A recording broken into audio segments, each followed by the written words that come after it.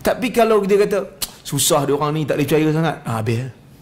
Pasal apa? Kerana masing-masing memikirkan tentang kepentingan peribadi.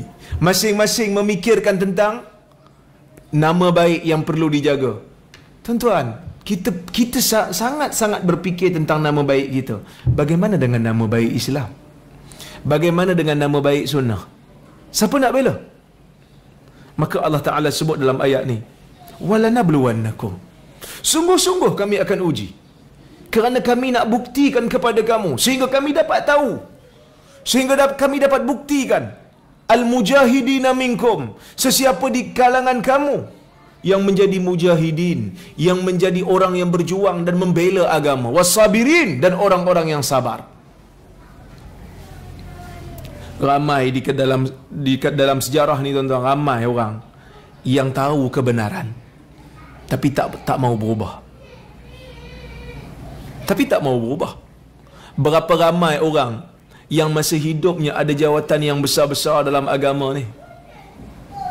Masa ada jawatan, dia turun satu-satu kampung, orang, orang sambut dengan kompang. Orang sambut dengan kapet. Tapi bila dia dah meninggal, orang tak fikir masa dia. Kerana apa? Tak ada apa yang dia buat. Kita bukan suruh maki orang tak. Tapi kita kata, sesiapa yang mempertahankan sunnah, walaupun terpaksa berbeza dengan amalan masyarakat, dia akan dikenang dalam sejarah. Tuan-tuan tengok Hamka.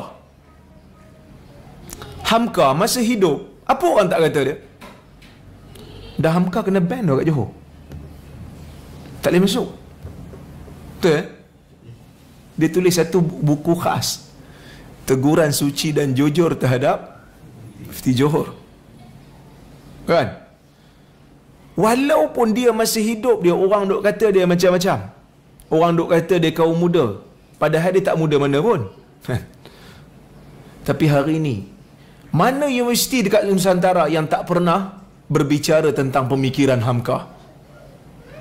Bahkan sekarang ni ada seorang sahabat kita sedang menulis tentang pemikiran Hamka dalam tesis master dia. Idea-idea Hamka dibincangkan dan diwacanakan. Program-program TV bercerita tentang Hamka. Bercerita tentang perjuangan Hamka. Kenapa? Kerana dia memilih untuk membela agama. Dia memilih untuk membela sunnah. Tapi orang yang maintain the status quo hanya mempertahankan amalan masyarakat. Apa yang orang nak bincang pasal dia? Tak ada apa. Kerana dia tak bawa apa. Orang nak bincang panjang-panjang pun tak boleh.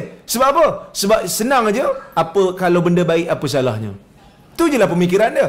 Maka tak layak diwacanakan. Kerana pemikiran dia lebih kurang macam pemikiran orang kampung dia. Maka Allah Ta'ala sebut.